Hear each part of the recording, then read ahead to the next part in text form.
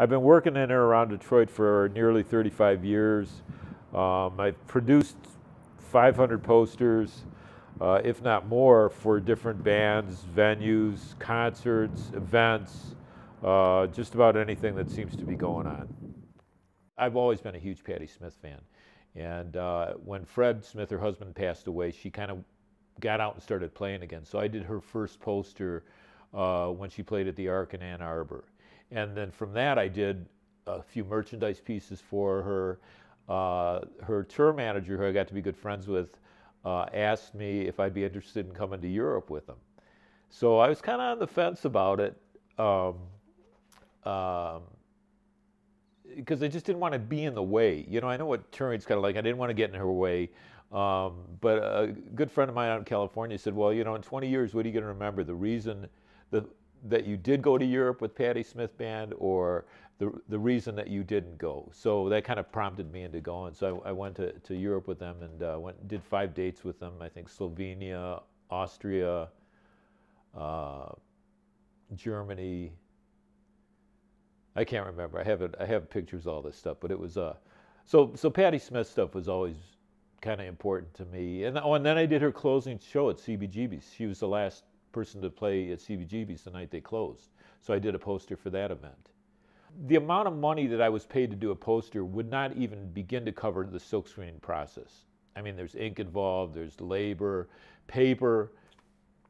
So I had to figure out a way to make it pay for itself. So and, and early on, the bands would flip a little bit of money, the promoter would flip a little bit of money. Um, so ultimately, I ended up having to sell posters.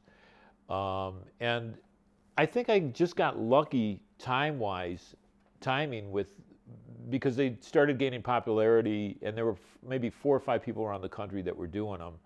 And uh, so I was able to, you know, with each poster I did, I saw a little profit.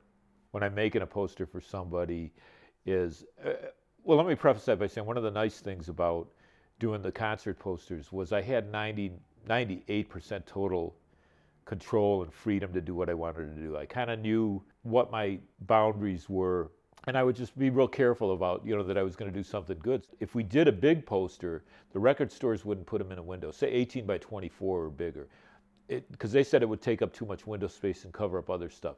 So I kind of standardized the size to fit so I could fit two posters and handbills to a sheet. So my all of a sudden my printing costs were cut in half. I'm getting two posters for the price of one. And I, I made them that size so they could go on telephone poles and stuff like that. Now a lot of cities have ordinances against that stuff. Um, so they, they didn't, but, but they were small enough that they could, the stores could put them and use them in the window and use them for what the intent was to, to, to advertise. I, I think my mentors in the arts or, or, or influences or support really comes from my mom. I mean, when I was a little kid, she would take me to the DIA. She'd take all my brothers and sisters. I was the only one that kind of gravitated towards the arts, but but I remember that. And we'd go every Saturday and they'd have workshops that we for kids that we would do. Well, bef- before I started doing po- posters, I was painting. The posters just kind of started out as a creative outlet, and what I had no idea where it was going. It was going to, it lasted nearly 20 years. So I think because of the changes in the whole industry and the reasons people do posters, I just kind of burned out on them. I got tired, and so I started painting again. And I've always painted a little bit throughout that process, but not, you know, when I was doing the posters, I would, whether consciously or subconsciously, be aware of that I can't do anything offensive to the band. The public's are gonna, uh, is going to see this stuff, so I've got to keep within certain guidelines that, that I impose myself. But but with the paintings, I can do. If nobody likes my paintings, I don't care. If they if they love them, you know, I don't care. It just it's it's what I like to do. So so I'd been painting these really large paintings, but technically they weren't right.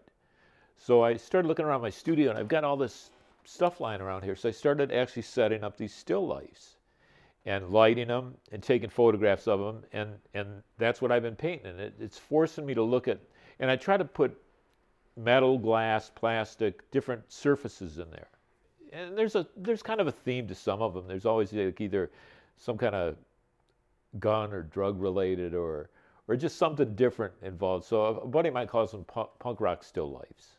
I mean, I, I never owned uh, Lamborghinis or, um, but you know, I paid my bills. Uh, yeah,